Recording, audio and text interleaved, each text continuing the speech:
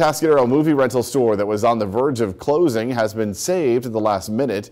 John's Video Palace in Atascadero had posted going out of business signs.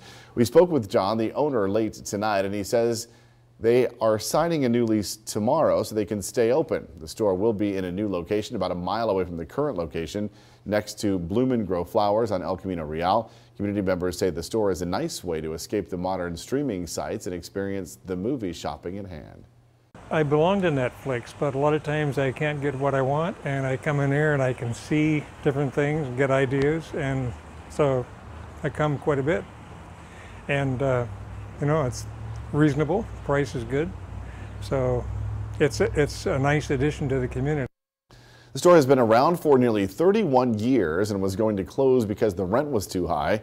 John says the rent at the new location is about half the price. The Paso Robles location will also remain open for another year.